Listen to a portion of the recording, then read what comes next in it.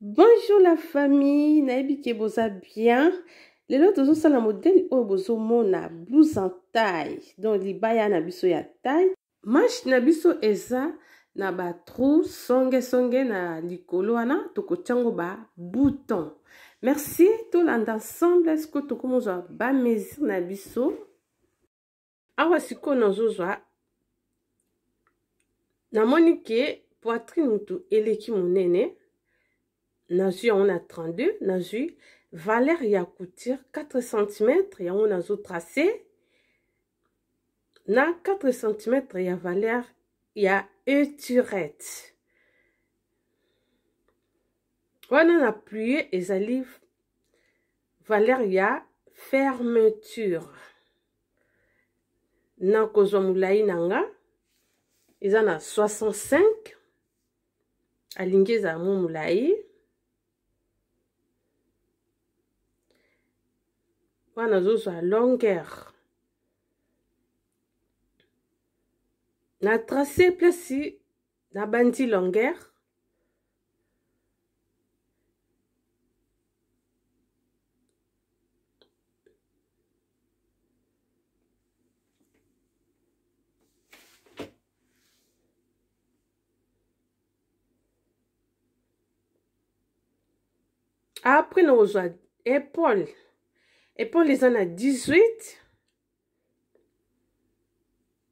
otrace place ya épaule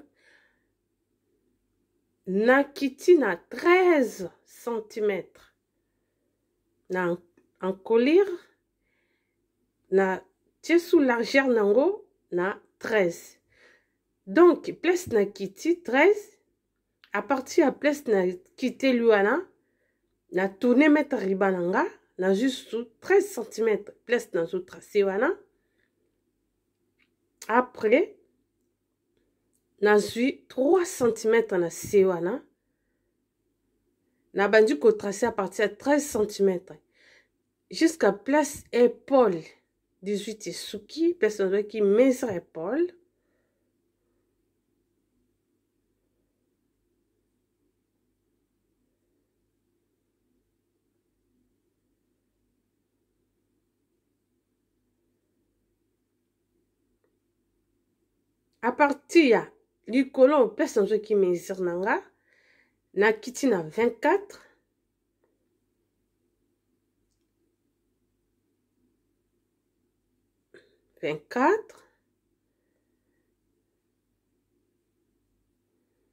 nazo fronte euh, cre parce que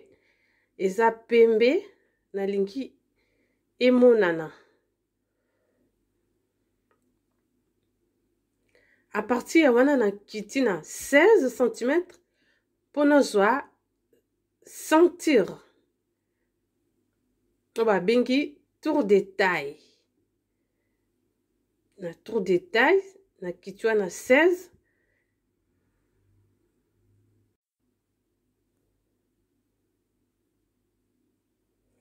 nazwi 16 cm à partir na trait oyo ya likolo ti na se wana 16 wana susu ti wana nazozwa yango na 22 oyo eza mpona calculer hanche hanche na nga eza na 30 cm ndenge nalobaki poitrine eleki monene yango wana nazwi yango na mesure wana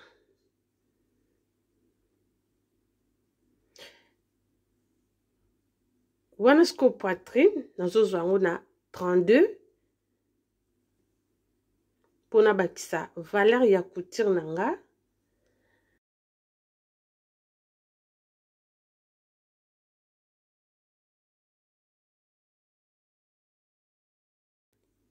wana na se nazwi yango na 30 oyo ezali anche donc na, na blouse taille bazwaka mpe hanche parce que blouse mosusu esukaka kote ya likolo ya hanche il faut ozwa yango parce que eza besoin okozala na besoin na yango soki olingi okanga elamba na yo après awa nazotrace na nga na bandi yango kote 13 cm esukaki na,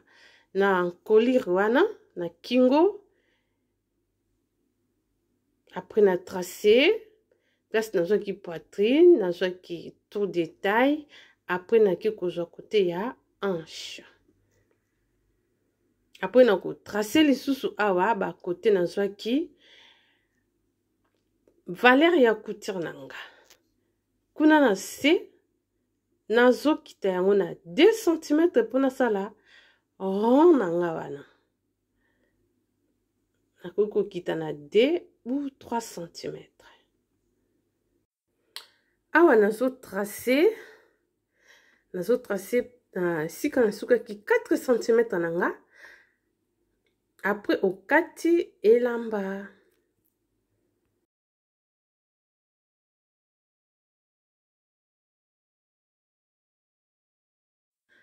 ensuite ozwi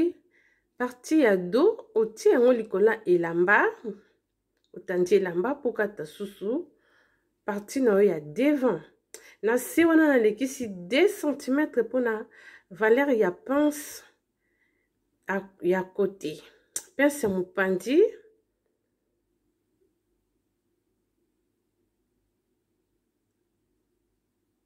oyo ezalaka na devant pince oyo ezalaka na devant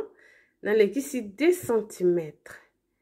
après otrace na yo kaka nde bomoi nazotrace wana après okokata devant na yo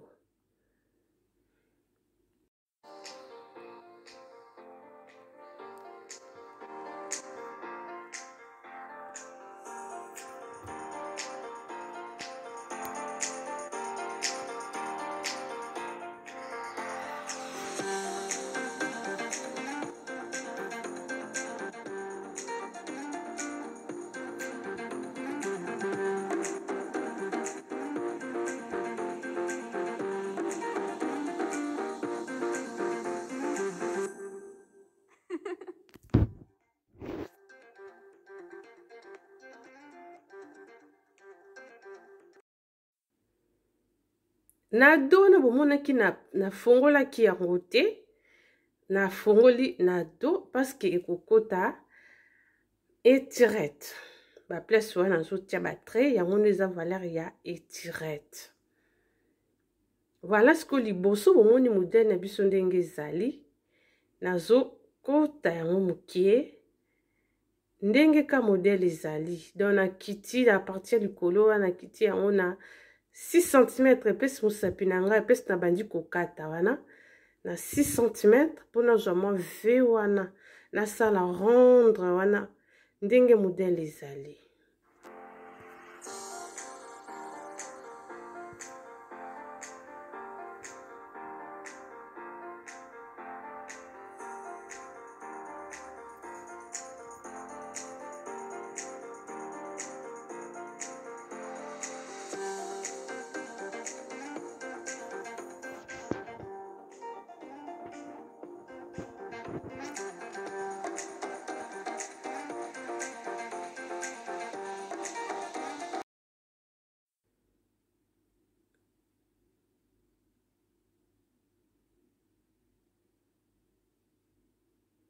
e voilà bomoni ndenge modele ebimi na kote yango doublir na tevigeline apres nakobalula na kingo nakobanda wana place na tie maboko na nga nakokotisa yango place nazotia tre wana donc a partir ya, ya likolo wana nakotonga wana wana nde na se ekokota maboko e voilà sikoyo toyei tokata maboko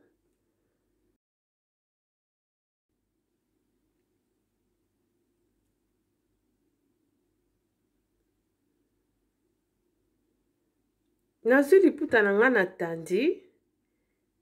après nini osala omesure 13 cm oyo olongolaki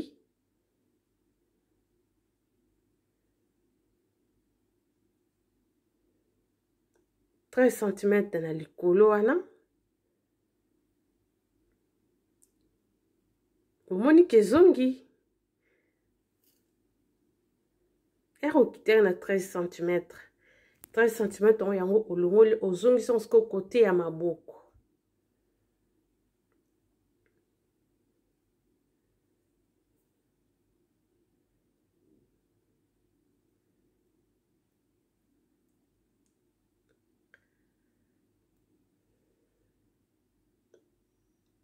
maboko na biso eza na basongesonge na ba, ba, eza na mwa ba maboko na biso eza na ba trou na mopanzi donc il faut omesure yango wana nazwi yango na 10 cm nanu apres na kosala basonge na ngai na basonge wana na kotia ba bouton ekosala ngai neti bane me bane te mpo ekokota bouton na basonge oyo bozomona likolo wana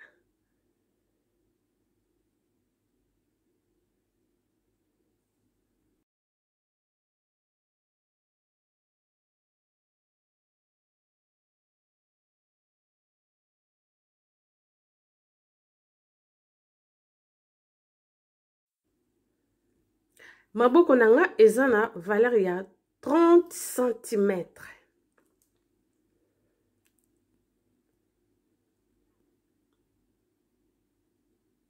basonge wana nakokata yango siko na sizo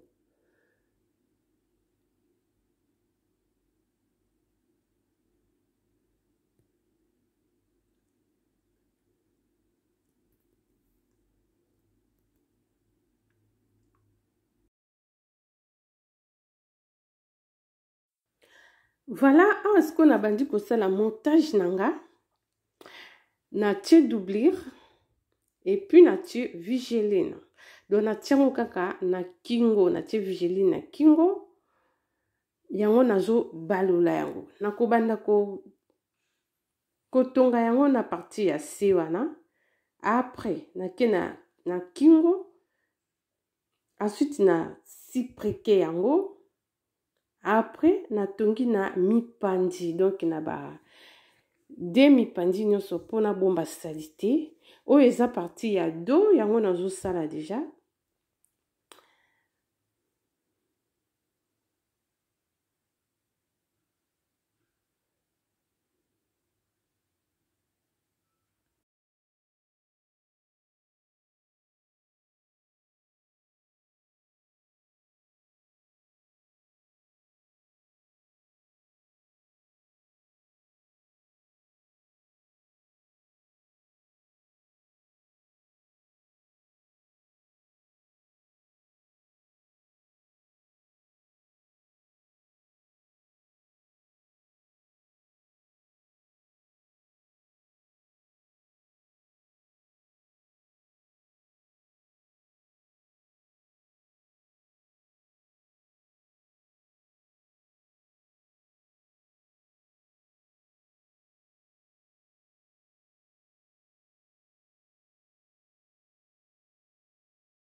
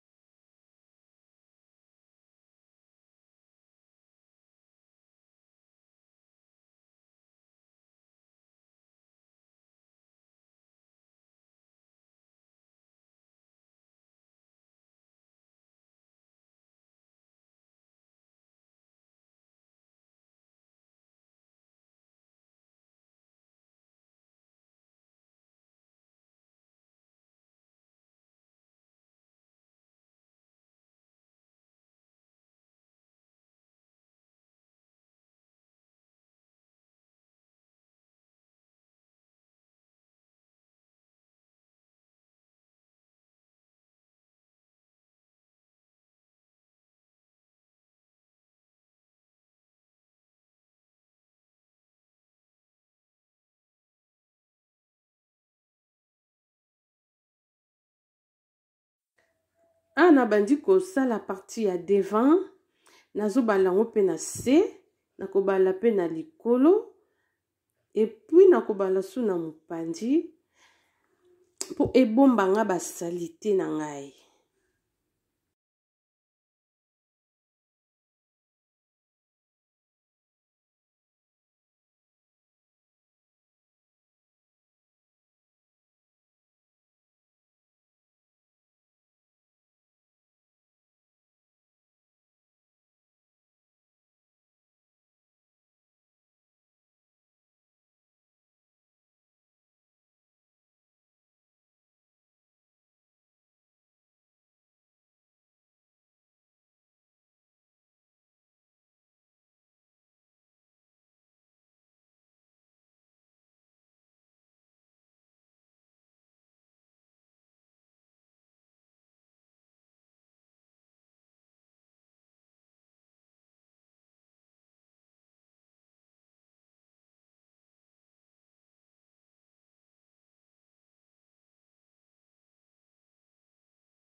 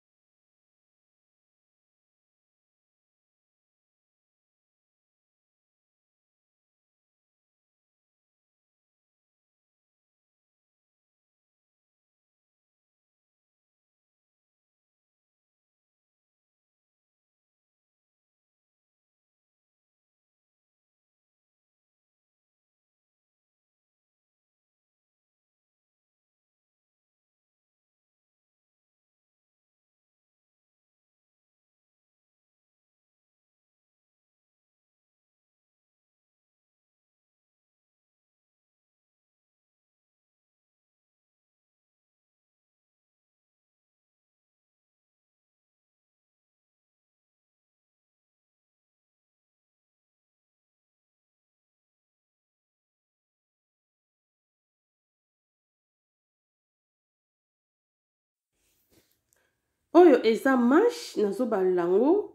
nakobala yango na songe songe donc parti ya liboko moko eza divise en deux parties basongesonge wana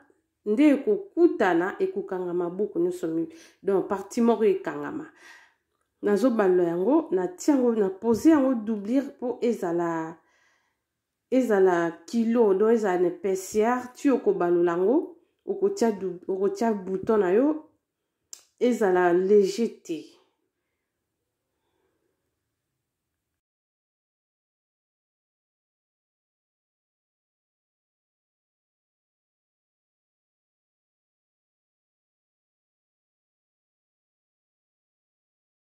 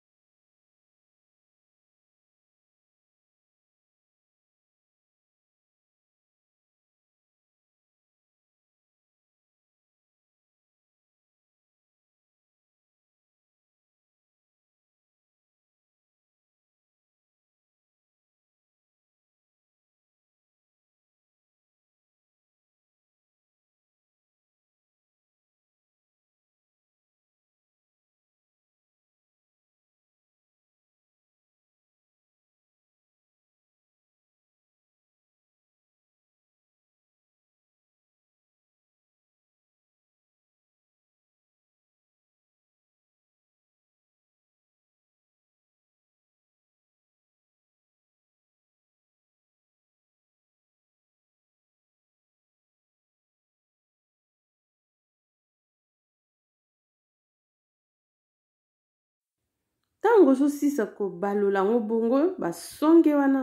il faut sala tout possible ebima après okorepasse yango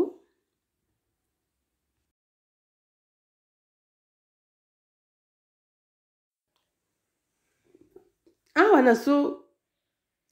zwa valeur ya etirete nde tolobaki na 4 cm nazo trace yango epuis na kozwa bamesure na ngai ya pense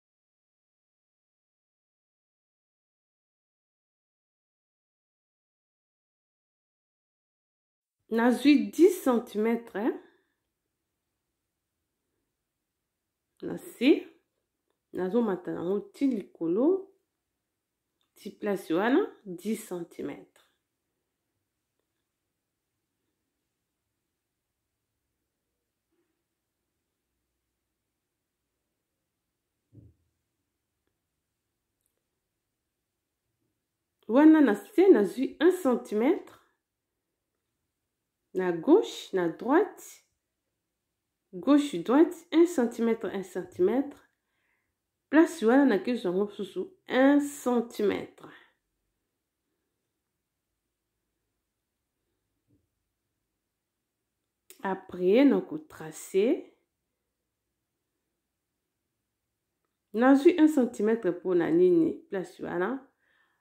mpo ekota mwa mokie don na pense na nga mokongo nde bomonaka bachemise mosusu esalaka centre donc mpo mokongo ezala un peu centre esala taille en fait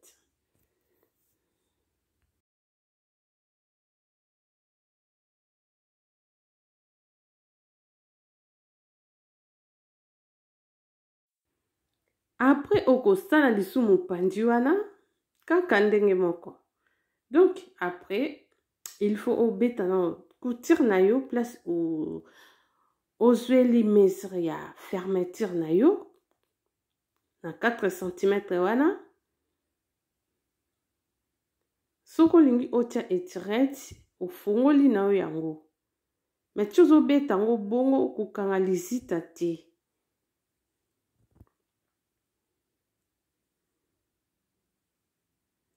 Soki omoni ke etirati na yo ekozwa parti kaka ya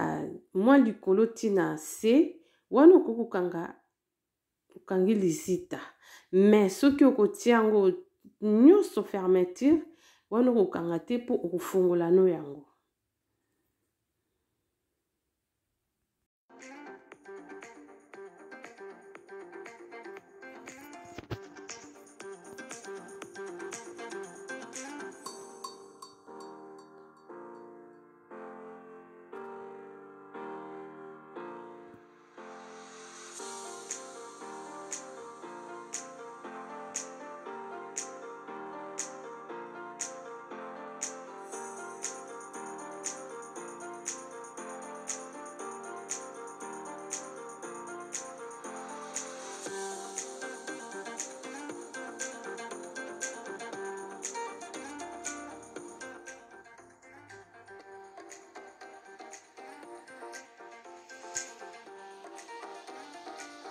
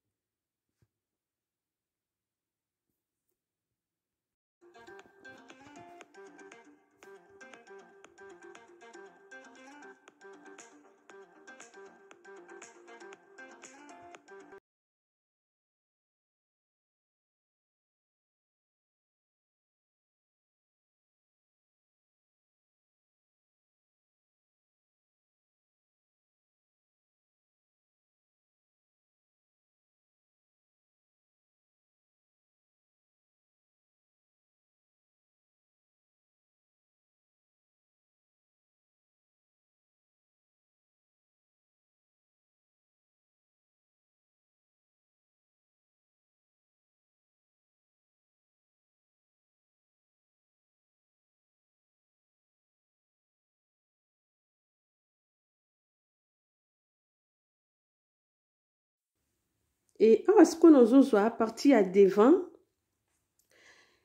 pese na yo so olingi ozwa yango il faut olongola 13 cm wana okiti na yo ozomona nakiti na mesure na nga pince eza na 33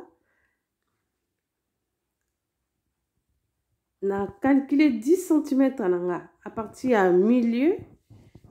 wana eza su na valeur te parce que nazwi déjà 10 cm wana kuna su na ngambo ozwa 10 cm donc écart wana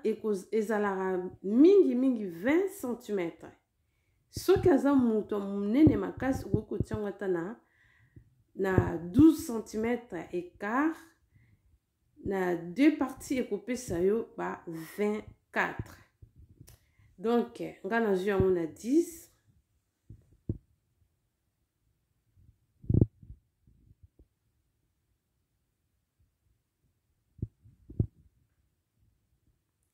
place okitelaki pince na yo olongoli 2 cm oyo ya pince ya mopanzi wana eza so na valeur te apres okokita lisusu na 2 cm mpo na nini okiti na 2 cm mpo ere okolata yango Mabele na yo efanda bien na panse. Okoki kolata pe soutien te na kaka na panse wana okomona ke taille na yo, mabele na yo, poitrine na yo ekofanda bien.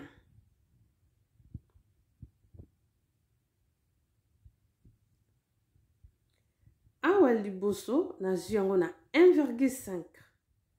mpo eza devant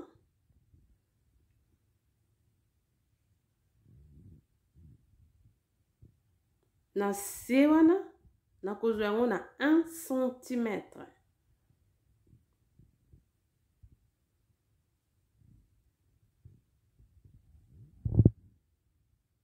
Nado nazwaki nango na 1 cm.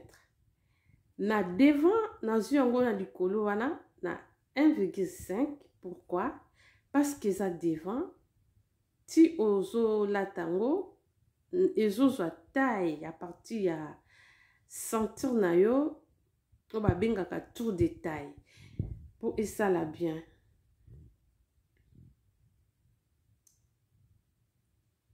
après oko trace susu na kote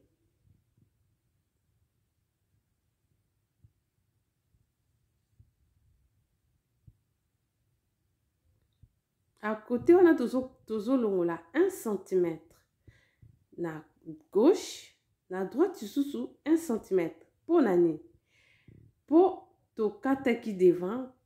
tolekisaki 2 cm donc de sentiment tongo yango ezolongwa na pense oyo soki bocomprendre bien ere tokataki do na devant tobakisaki devant 2 centimetre na ebandeli la maintenant na kokanga yango bapense ndenge moko mpo kosala na mopanzi mosusu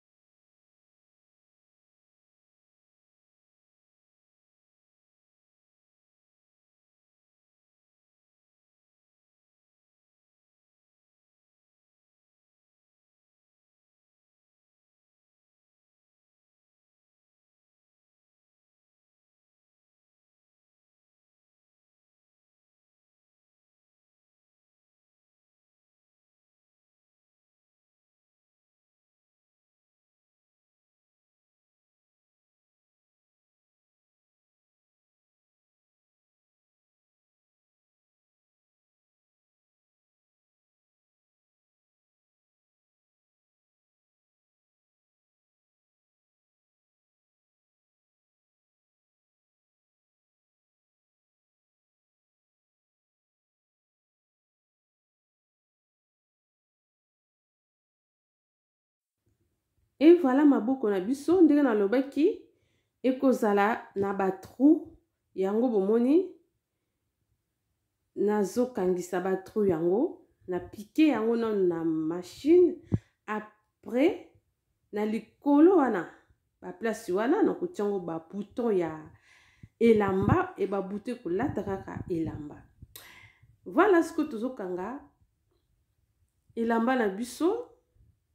tozo ko rassembler yango tozo rassembler yango donc il faut ozwa ba mesure poitrine na yo ozwi tour de de hanche tour de ceinture ozwi tour de poitrine ba mesure na yo nyonso divisaka par 4 après otie yango omesure elamba na yo après okangi yango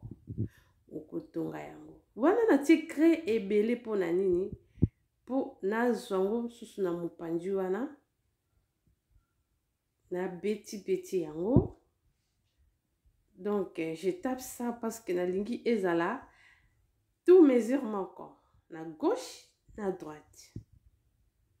après nakolongola na nga yango bomoni mwa trait wana nakolanda kaka yango na craie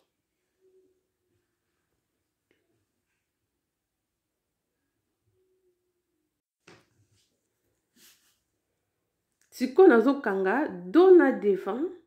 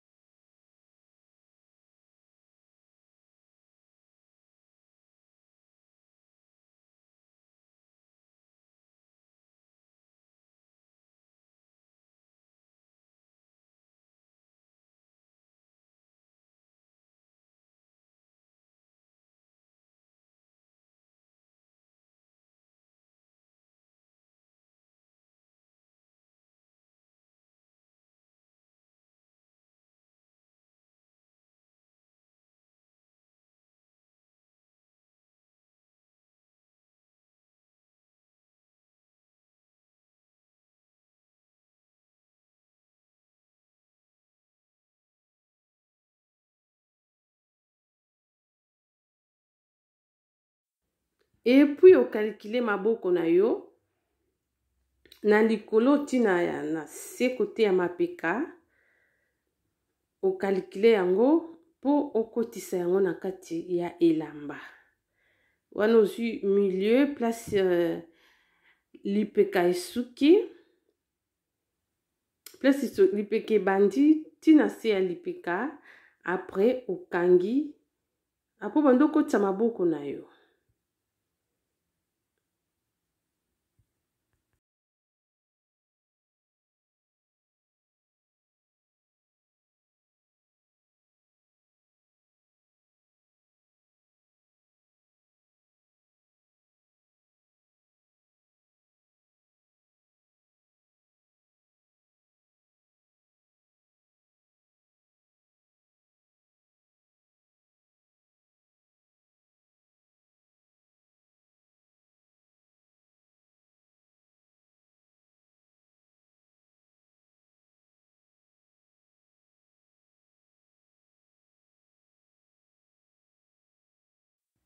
Et voilà, voilà, voilà, elamba na biso yango oyo esili. Blouse na biso esili. Bomoni yango epesi kitoko. Donc euh, voilà, bomoni place pe euh, mwa motane na biso wana ezali. Place maboko ebandi. Ndenge modèle ezali, place wana ba bouton ekokota. nanu nasali ba bouton te fo natia ya bouton ya machine oyo ya elamba direct donc voilà elamba na biso blouse en taille epuis pense na biso mpe yango oyo ezwi vraiment bien yango oyo yango oyo ebimi kitoko ebimi vraiment quand modèle ezali